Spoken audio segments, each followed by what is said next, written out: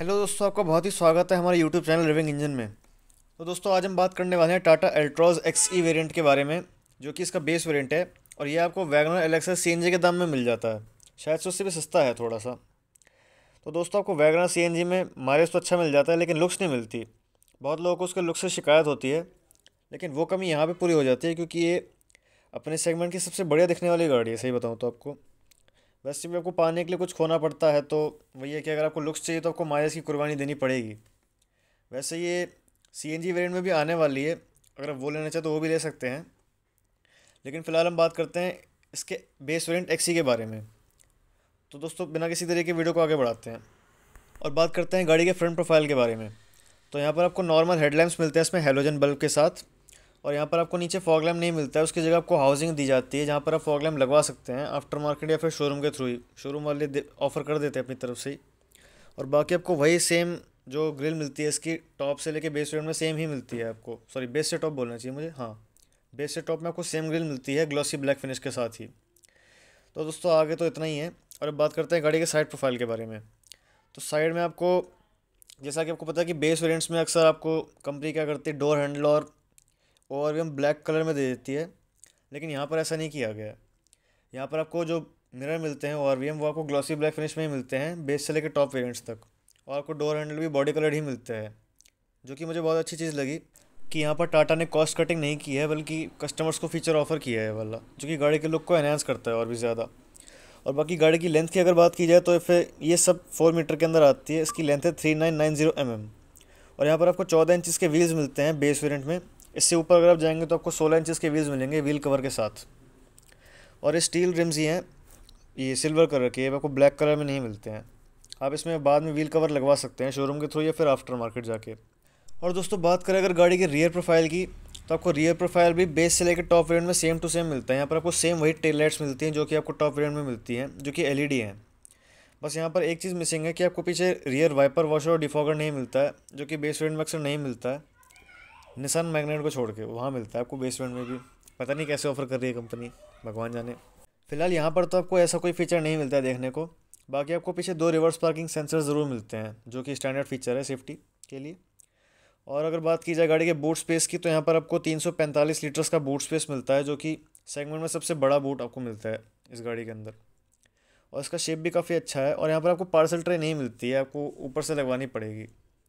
और अगर बात करें गाड़ी के फ्रंट डोर की तो यहाँ पर आपको दो पावर विंडोज़ मिलती हैं आगे के लिए और यहाँ पर आपको मैनुअल सेंटर लॉकिंग मिलेगी, चाबी वाली। बटन वाली नहीं मिलती है आपको, लेकिन आप बाद में उसको लगवा सकते हैं बटन वाली को भी। और यहाँ पर आपको डोर में स्पीकर और ट्विटर के लिए प्लेसमेंट मिलता है, लेकिन मिलता नहीं है आपको स्पीकर और ट्विटर क्योंकि यहाँ पे गाड़ी में आपको म्यूज़िक सिस्टम नहीं मिलता क्योंकि बेस वेरिएंट है। उसकी बात भी हम अंदर चल के करेंगे। फ़िलहाल बात करते हैं गाड़ी की फ्रंट सीट्स की तो फ्रंट सीट्स आपको बहुत ही कंफर्टेबल मिलती हैं। अंडर था सपोर्ट आपको काफ़ी अच्छा मिलता है और लेग रूम भी अच्छा है। और सबसे खास बात है कि यहाँ पर आपको एडजस्टेबल हेडरेस्ट देखने को मिलता है, जो कि अक्सर कंपनियाँ काट देती हैं फीचर, पता नहीं है यार, समझ में नहीं आता मुझे क्यों काटती हैं। सेफ्टी फीचर के अंडर ही आता है खैर, यहाँ पर आपको सीट हाइट एडजस्टेबल नहीं मिलती है, ये आपको फिक्स ही मिलेगी। और अब हम बात करते हैं गाड़ी के इंटीरियर की तो आपको बहुत ही बेसिक इंटीरियर मिलता है यहाँ पे। ब्लैक के साथ आपको नीचे बीच का कॉम्बिनेशन देखने को मिलेगा और बीच में सिल्वर कलर की फिनिश भी देखने को मिलेगी आपको, जो को पैसेंजर वाली साइड है वहाँ पे। लेकिन यहाँ पर आपको कोई म्यूज़िक सिस्टम नहीं मिलता है क्योंकि बेस वेरिएंट है। आप आफ्टर मार्केट या फिर शोरूम के थ्रू लगवा सकते हैं।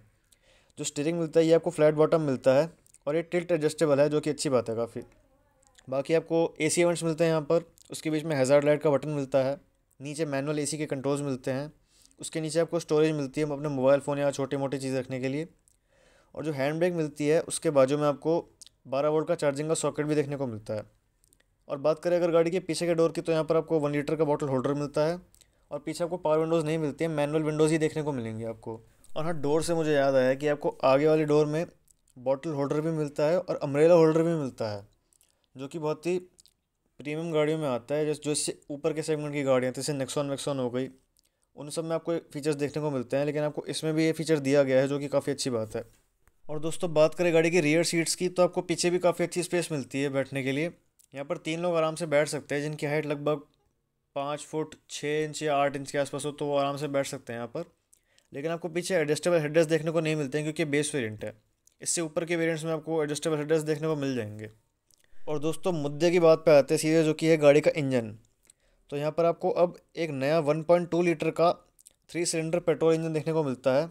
नया क्या बोलूँ मतलब इसको B S six phase two ready कर दिया गया है, जो कि रियल टाइम एमिशन नॉर्म्स है। और अभी इंजन प्रोड्यूस करता है 86 सिक्स पी की पावर और जो टॉर्क जनरेट करता है वो है 113 सौ का। और इससे आपको जो क्लेम माइलेज है इसकी वो है लगभग साढ़े अट्ठारह या उन्नीस के एम की। लेकिन आपको इससे आराम से चौदह पंद्रह की माइलेज तो मिल ही जाएगी अगर आप इसको तरीके से चलाएँगे तो। ये मैं आपको सिटी की माइलेज बता रहा हूँ। हाईवे पे शायद से आपको सिटी में शायद से तेरह चौदह की देगी हाईवे पे आपको आराम से निकाल के दे देगी, लगभग सोलह सत्रह के आसपास। और इसमें एक डीजल इंजन भी मिलता है जो कि one point five litre unit है। पंद्रह सौ सी का, वो मैक्सिमम पावर प्रोड्यूस करता है नाइन्टी पी की और मैक्सिमम टॉर्क जनरेट करता है दो सौ का। डीजल इंजन की परफॉर्मेंस काफ़ी अच्छी है पेट्रोल के कंपैरिजन में अगर बात की जाए और माइलेज भी अच्छी है। माइलेज आपको लगभग लगभग अट्ठारह से बीस का मिल सकता है उससे। नहीं तो कम से कम सोलह, सत्रह तो मिल ही जाएगा अगर आप उसको अच्छे से चलाएँगे तो। और अगर बात की जाए लास्ट में गाड़ी के प्राइस की तो अगर पेट्रोल वेरिएंट की प्राइस की बात की जाए तो वो है six point three five lakhs ex showroom और अगर डीजल इंजन वाले वेरिएंट की बात की जाए तो उसका प्राइस है seven point nine zero lakhs ex showroom तो दोस्तों, आज की वीडियो में तो बस इतना ही। उम्मीद है आपको वीडियो अच्छा लगा होगा।